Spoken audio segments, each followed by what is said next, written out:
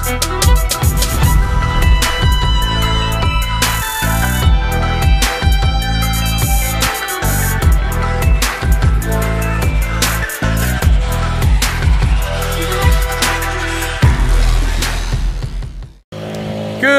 morning, ladies and gentlemen. Uh, I'm out here with Justin mowing a yard that I forgot on my route. Have you ever done that? Was in the area the other day. Completely forgot to do it, but uh, I'll show a little bit of it to you.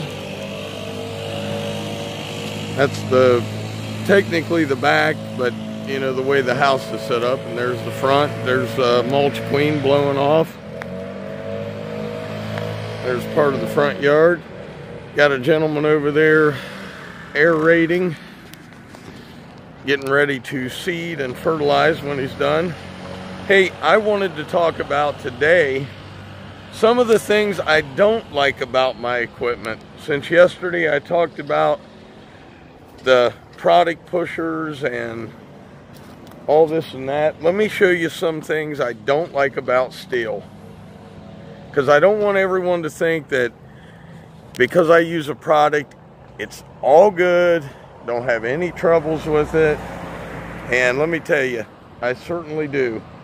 The number one thing about this Stihl and any Stihl I've used is when it gets extremely hot, they are hard to start. You have to give it a little bit of gas to get it started on a hot day. It's a pain in my butt, but overall, I love the Stihl. Now, I use the Echo speed feed heads. Yes, I said it, Echo.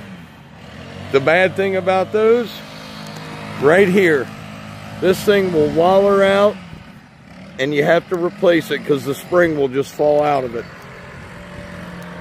But that is the one thing about the Stihl I could uh, care less for but overall, great trimmer. So there's one thing. Um, I'll talk about Green Touch next.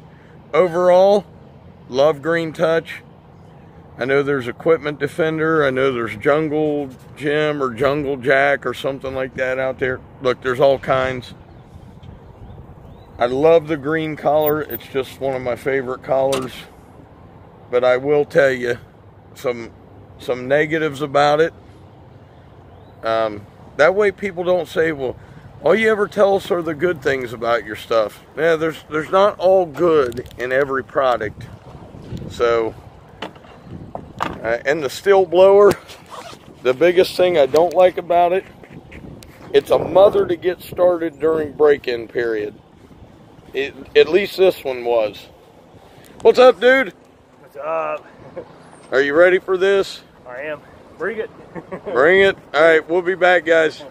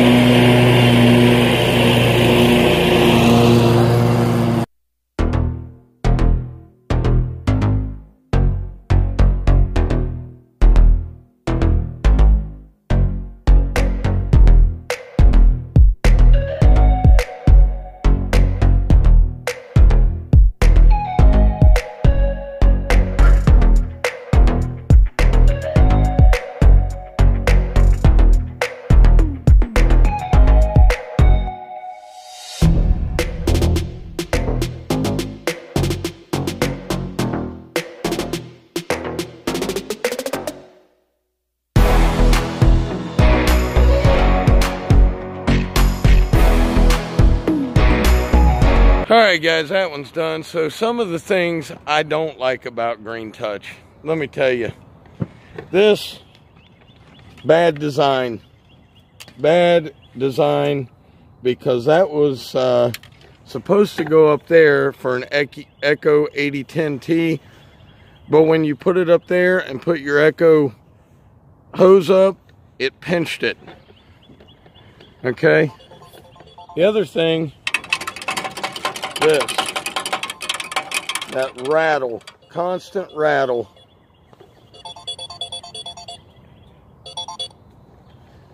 And when you put it to the base of just a flat piece of angle iron, it shakes back and forth. And you can tighten those bolts up all you want, it's still going to shake. Overall, nice quality. I like the locking system. I love that spring back handle.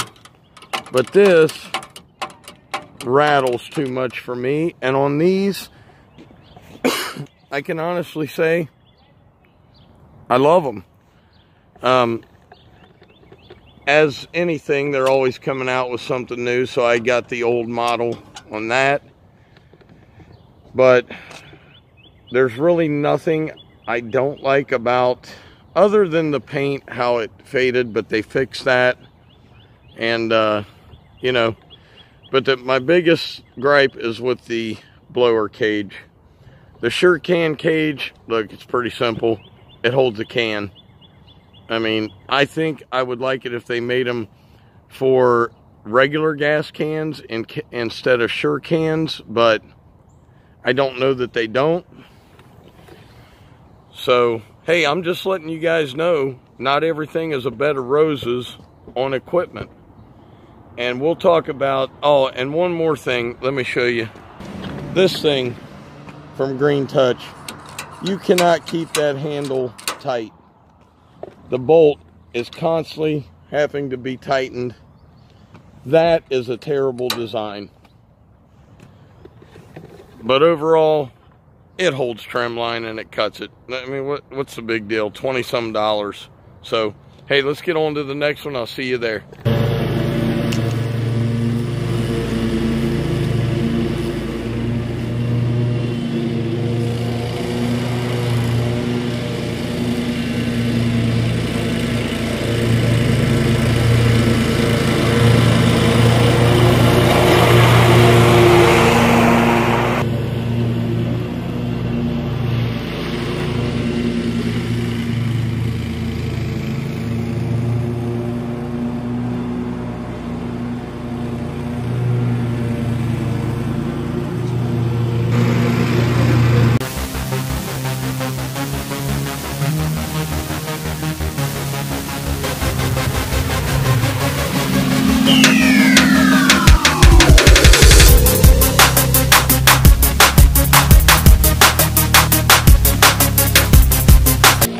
Alright guys, that's done. Customer came out, asked me if I could drop it down another quarter of an inch, so we did.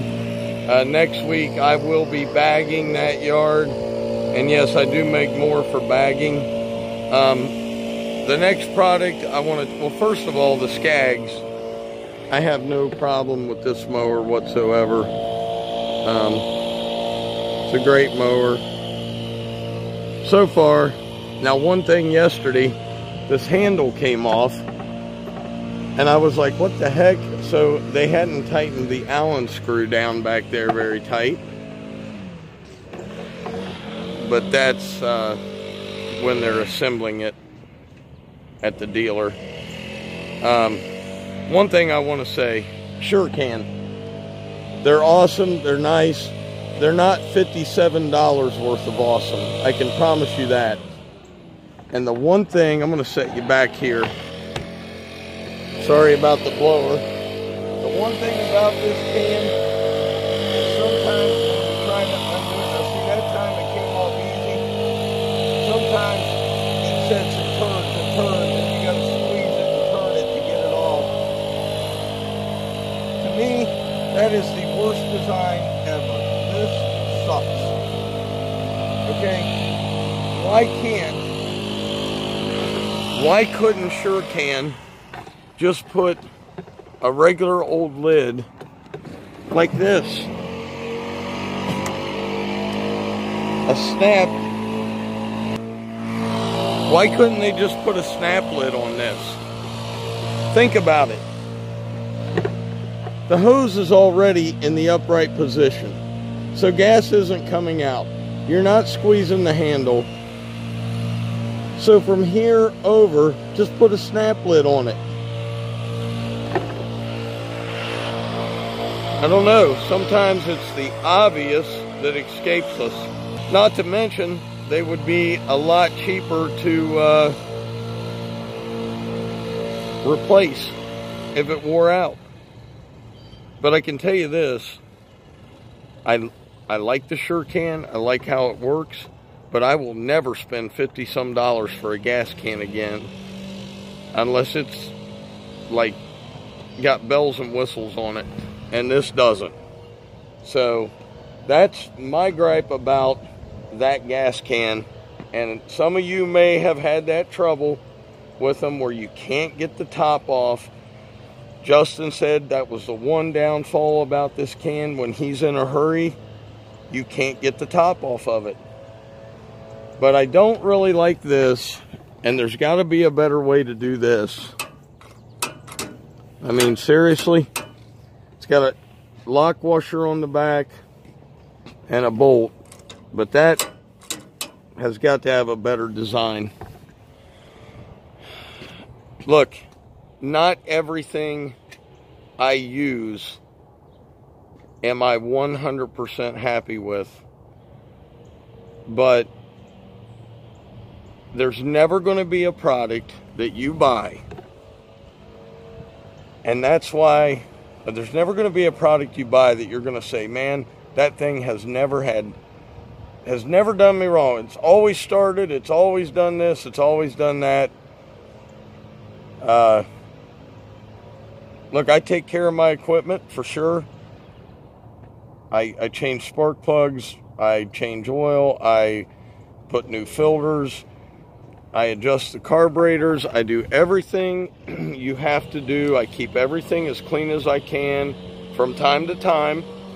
Uh, if it was nice out, 70 degrees, these mowers would be washed three times a week. But uh, not everything is perfect when you buy a product. So I just wanted to let some people know that uh, just because I use Stihl and I use Scag and I use a SureCan and I use Echo hedge trimmers doesn't mean I haven't had problems with all of those things. Green touch, all of it. It's all got a downfall. It's all got things we don't like about it. And uh, those are the things I don't like about my equipment. Anyway, guys, I hope you enjoyed this small video. Couple yards there we did. It is absolutely freezing cold. And uh, we're going to get home. Justin's got to go out and do a couple things here for me today. And then that's it for today. We'll be back out mowing tomorrow. And uh, as always, guys, Dr. Real was in the house. Keep it real and I'll see you tomorrow. Peace. I'm out of here.